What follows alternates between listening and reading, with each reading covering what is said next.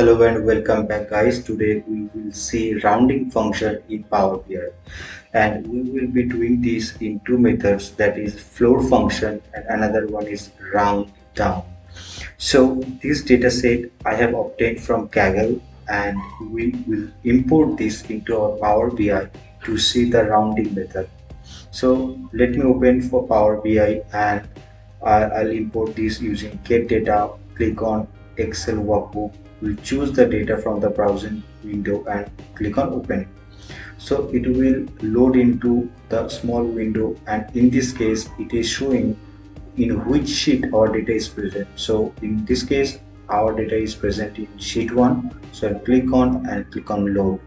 We have to allow a few moments to get it loaded into the Power BI right now it's opening and yeah it has successfully loaded it is in if you click on report view so it's nothing. So here in this window we can generate all the visual reports. If we click on data and it will show that our data is present in this in tabular form. In this case we have a column that is called price each. So this column has the number with a decimal and we'll be doing this rounding off to get it as 11 or before the point and we want to round it as uh, 11 99 600 10 14 so like that we want to round it off. So this rounding off we'll be doing in two methods. So let me show you how to do that one using floor i'll be clicking on this column new column. And let me give the first a name column as price price per unit. Equal sign. Will so if we want to come down to the second line we have to use shift and enter.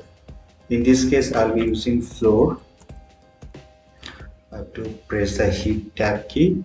So it's asking for which number we want to do the rounding so in this case we want this to be applied with price each column so in this case i'll put price. So i'll choose this price each. Put comma and asking for significance. So if we put one let me explain what will happen. So if we choose one so it will rounding to the before the decimal one. And it will strip off all the after decimal sign whatever numbers are present. So this is a floor one and for round down uh, let me click on new co column once again. And this also let me give as price per unit. But in this case we'll be using round down. So I'll write that.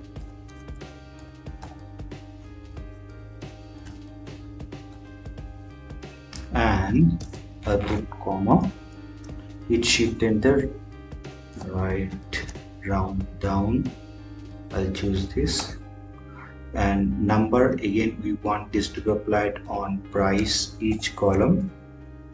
Price each. We'll put comma. And let me explain if we put zero what will happen? Or let me explain what will happen with one. If we put one it will take after decimal just one single digit. So it is giving 11.9 so if we put 2 it will give two digits after the decimal. And if we put 0 it will give nothing after point decimal. So it will give before the decimal one.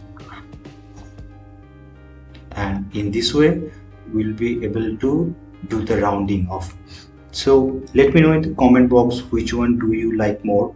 And if you want to download or if you want to get this data you can check it to the description box. And if you like this video please give a thumbs up and subscribe to my, my channel. Till then take care. Bye bye and i'll see you with another new exciting video. Thank you so much. Bye bye